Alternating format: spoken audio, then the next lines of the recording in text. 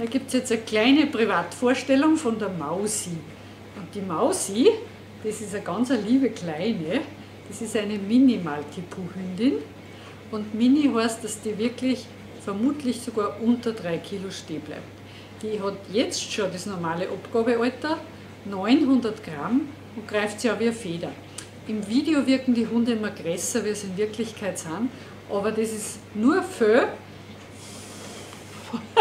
einen Haufen Wuschel, Wuschel und nichts drunter. Wenn man den Hund jetzt nass macht, dann darf der schmutzen wie ein Schneeball und überbleibt ein ganz kleines Hund, ein ganz kleines Maus wie ein Hamster. Dann darf man noch winken und sagen zum Frauli, Tschüss, wir sehen uns bald, Baba.